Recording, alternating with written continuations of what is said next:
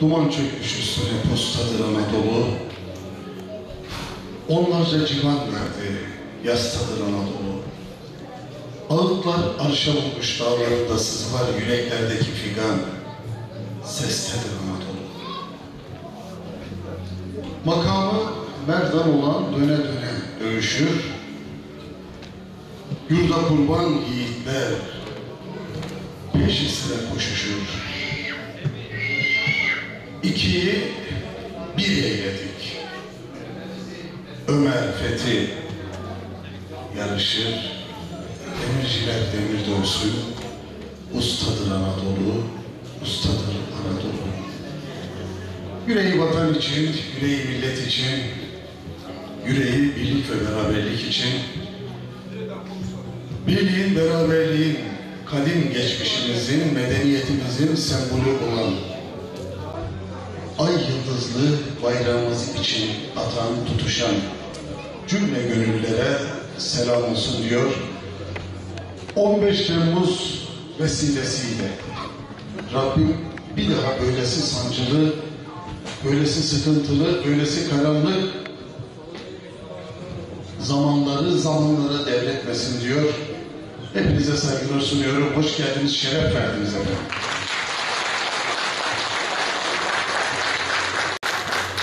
Sayın Kaymakamım, değerli garnizon komutanım, siyasi partilerimizin çok kıymetli ilçe başkanları, değerli protokol hanımefendiler, beyefendiler, yarınlarımızın ümidi, gençler, çocuklar, 15 Temmuz öyle alelade 365 gün içerisinde mutlaka çok kıymetli günler var. Ama en az o kıymetli günler kadar kıymet arz eden bir an. O ana bir eylem sıkıştırdılar. Nedir efendim bu eylem? Geçmişe dönük en az 3-4 bin yıllık hafızası olan bu büyük ve kadim medeniyetin, bu büyük milletin ve ümmete kendini vakfeden bu gönül ordusunun hafızasını silmekte bütün mücadele. Nedir bu mücadele? Geriye gittiğimizde hani Bilge Kağan merhum diyor ya yukarıda gök çökmedikçe altımızda yer yarılmadıkça sizin birliğinizi, beraberliğinizi ne bozabilir, kim bozabilir? İşareti o gün almıştı bu millet ve bu istikamette dünden bugüne yürüdü hep. 1071'de Anadolu'nun kapılarını hem Türkiye hem İslam'a açan ve bir yıllık kardeşliğin kaidesi olan bu topraklarda Anadolu'nun vatandaşmasını, Türkiye'leşmesini zamanlara devreden bu büyük millet tarihe çok güzel zamanlar bırakıyordu. İstanbul'un İslam'la İslam'ın İstanbul'la kucaklaşması gibi. Önlerine kadar ilahi kelimetullah için nice kutlu yürüyüşün zamana düşürülmesi gibi. Neticede Çanakkale, Balkanlardan çekiliş, üç kıtadaki o ihtişamın yok edilmesi, tüketilmesi ve bizi bin yıldır kardeşliğimizi inşa ettiğimiz Anadolu topraklarından sürmek adına verilen bir şer mücadelesi, küfrün mücadelesi. İstanbul işgal edildiğinde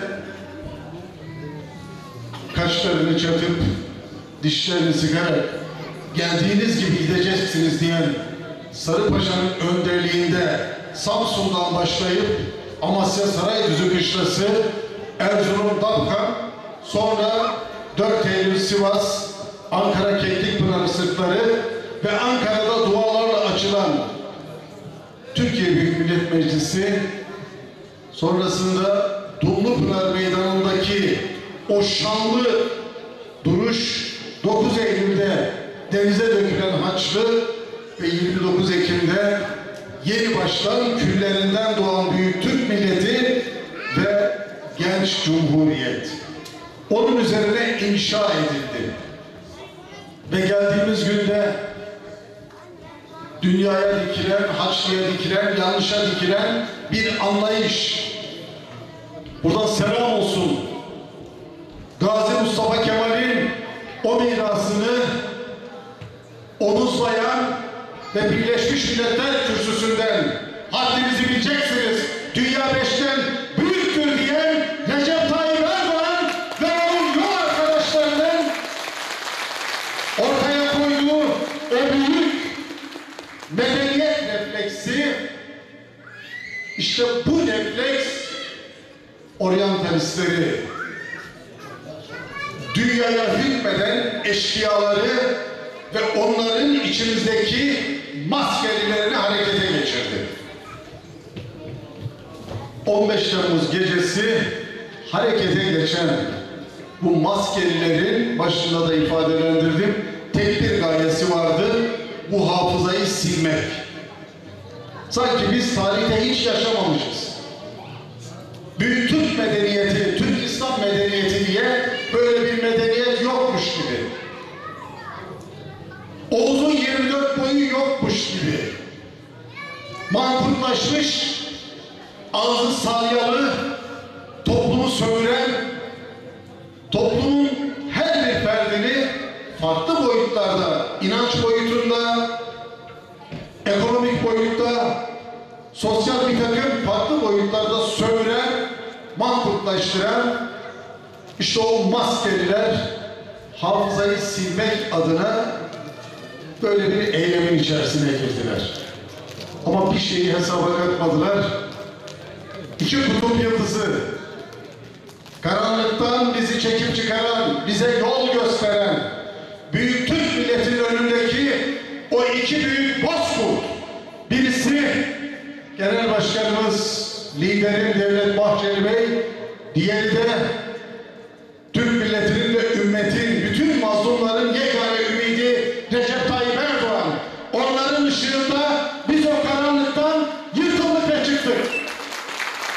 Hamdolsun ki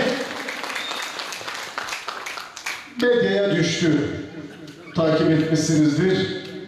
Tasarruf tedbirlerini gerekçe göstererek 15 Temmuz demokrasi nöbetlerini bu sene yapmayacaklarmış.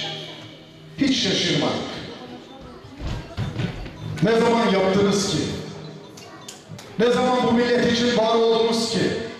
Ne zaman bu millet için yürüdünüz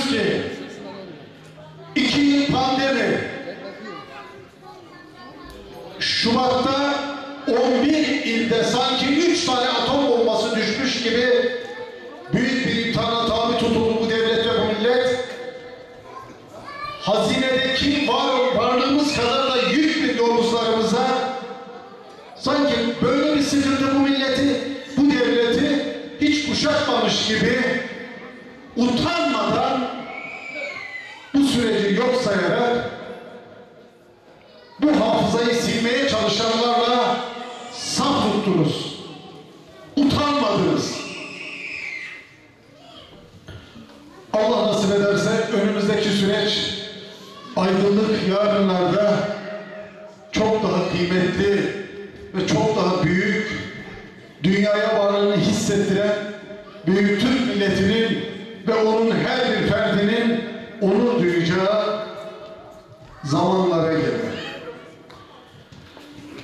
Başta 15 Temmuz şehitlerimizin şahsında cümle şehitlerimizi, gazilerimizi rahmetle, şükranla ve minnetle anıyoruz. Bizi şehitlerimiz demekten son derece onur duyuyoruz. Merhum Akif'in ifadelendirdiği gibi hani diyor ya Rabbim bir daha bu millete İstiklal Marşı yazdırmayı nasip etmesin. Ve biz de diyoruz ki ey millet aklımızı başımıza toplayacağız. Yan yana duracağız, sapları sıkı tutacağız ve dua edeceğiz. Ya Rabbi bir daha bu büyük ve kadim millete, bu ümmete 15 Temmuz gecesi gibi karanlık anlar yaşatma Ya Rabbi. Ya Rabbi dünyadaki bütün mazlumlar başta Gazze'deki Müslümanlar olmak üzere onun varlığına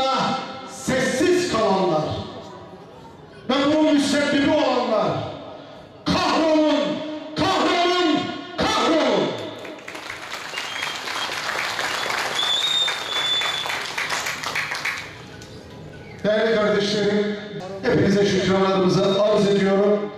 Allah hepinizden razı olsun. Yaşasın Türkiye Cumhuriyeti Devleti.